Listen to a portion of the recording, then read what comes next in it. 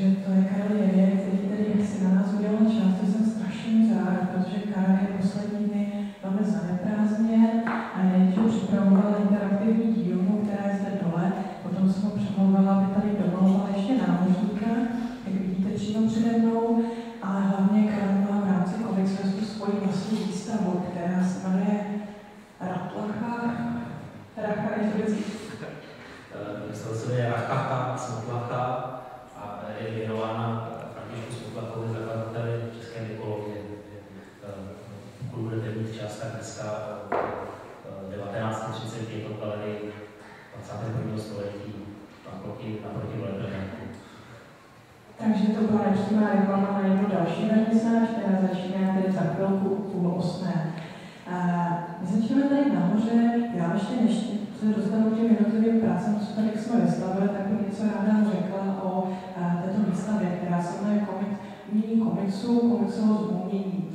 Ten název vypadá strašně složitě, ale není zase tak složitý. Má dvě části. Ta první část umění komiksu, tak to je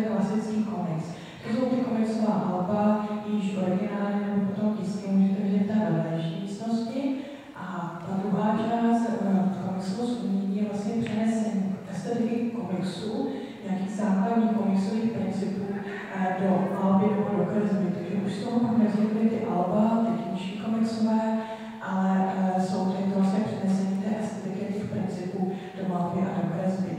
Karel je, který už jsem říkala, tady se mnou dneska bude, tak Karel je příklad jak malíře, tak komiksového autora, to znamená, on zvládá dělat jak komiksy, knihy, tak zároveň vlastně tu komiksovou estetikou v malbě, potom třeba jsou tady ty práce přímo před náma.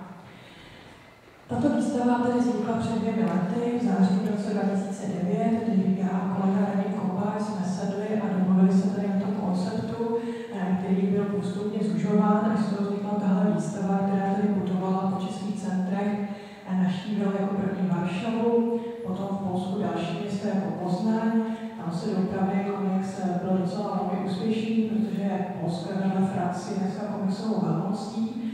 Potom dál jsme byli v yang?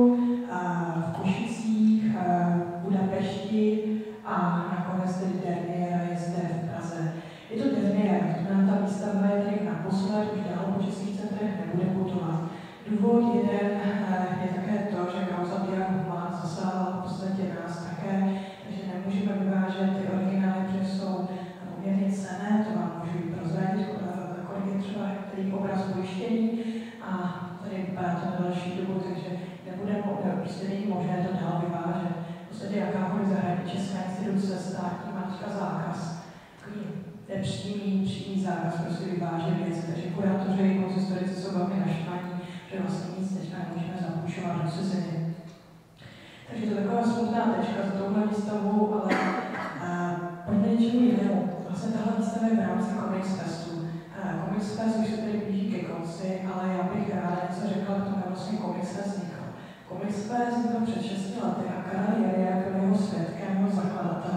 teďka předám slovo, by nám řekla vlastně Comics Fest, jehož rámci tahle výstava je vznikla. Já to nebudu tak stručně.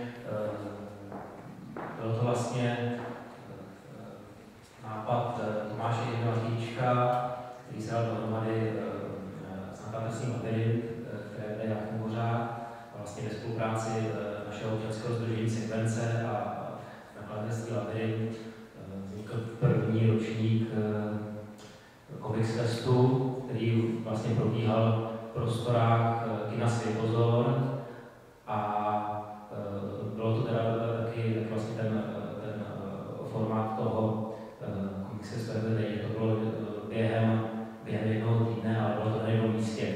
Od té doby se rozrostla spolupráce se zahraničními instituty v Praze a s, s radou galerií a biografů a různých, dalších, dalších prostor, kde probíhají přednášky a workshopy. Takže po těch šesti letech je daleko víc, víc akcí během toho týdne a musím, musíme teda jako hodně přemýšlet, jak, jak to poskládat, aby třeba na jeden den nevycházelo víc výstav, než se dá nějak stihnout. To je v podstatě takový ten základ k tomu, k tomu, jak to vzniklo. A když uh, ještě něco napadne, tak, tak se přihlásím o slovo. Já jsem se hned přihlásila, když Karla vám pověděla takové oficiální informace, ale já jsem ráda zeptala ten neoficiální, to znamená koho, kdy, za jakých okolností napadlo vlastně založit ten Comics Fest, kdy ta myšlenka vznikla, jestli to bylo na záchodě, v posteli, na zahradě. No vlastně ten, ten, ten nápad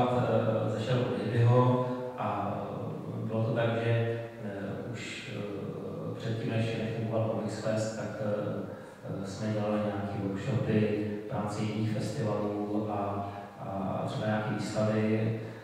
A ukázalo se, že, že ideální uh, možnost, jak vlastně provozovat podobné akce, je založit občanské združení.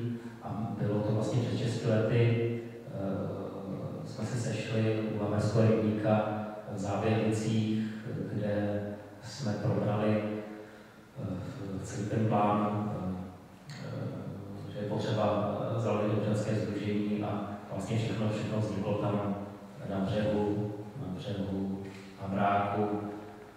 A e, vlastně na začátku na občanské združení sekvence tři členy a v současnosti e, e, jsme čtyři, ale máme vedle toho jako celou řadu externích spolupracovníků, takže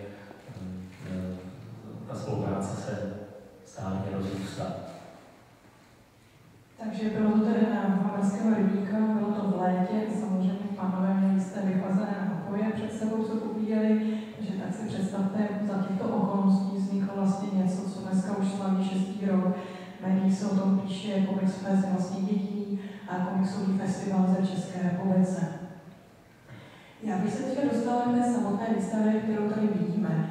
Tak eh, začneme vlastně touhle místností a skončíme potom úplně dole, kde bude takový zlatý hřeb, taková třešnička na dortu, protože to je Karlova interaktivní dílna, která se jmenuje Zločin přístavu a navrhuji s Martinou Lukáškovou. Už jste to asi všichni viděli, já myslím, že to velmi zdařilo. Já se přiznám, jsem čekala, nikdy neviděla takovou interaktivní dílnu, kde by se mě mohli zapojit jak děti, tak dospělí.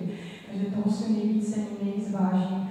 A díky tomu, že kolikrát má práce, tak jsem moc ráda, že ty dva tři noci tady strávila, prostě celé to návrhu vymaloval, udělala, takže za to moc děkuju. Tak, když začneme tady po té pravé straně, tak když se kouknete, co to je, eh, tak ty autoři jsou Jan Babán a Vojtěch Mašek. To jsou pánové, kteří vlastně připravili komiks, eh, komiks eh, Monster Cabaret Freda pro Holda uvádí poslední chobot tango. Je to komiks své album z roku 2008, kdy tady ukazujeme vlastně originální listy. To znamená, tyhle listy se potom naskenovali, počítači upravili. Co je na tom zajímavé? Oni využívají že ta autorská dvojice to má tak, že spolu velmi spolupracují. To znamená, není to tak, že by od těch eh, Mašek eh, byl eh, ten výtvarník a Čerpa pak byl literát. Jo, takhle vždycky ty výtvarné nebo ty dvojice bývají. Tak je to, co aspoň já vím, tak je to tak, že oni oba se kecají jeden druhému do řemesla, takže oba dva se podílí na té textové stránce, tak na té druhé, tedy výtvarné. Využívají různé věci, co najdou, pohlednice, fotografie, které potom přemalovávají. Takže ať když to tady nejde vidět, tak tady je pár obrázků, které jsou vlastně úplně přemalované. Já třeba konkrétně s tím mám zkušenost, že jsem s tím byla v Tel Avivu, tak se to strašně líbilo, protože na tom oceňovali takovou tu řemeslnou stránku, to znamená postivost, klasickou prostě výtvarnou práci, co známe, kdy je vidět, že ten výtvarník jednak umí malovat a zvládá, zvládá tedy tu techniku. Připomíná to také techniku právě koláže, tím, jak se používají ty staré fotky, obrázky, které pak přemalujete, vystřiháváte podobně. Ono i z boku, když na to kouknete, tak trošku je vidět taková plastičnost, která se vytváří právě tím, že se tam dává několik vrstev na sebe. Na sebe. Takže to je čerpa pana Vojtěch Mašek. V tom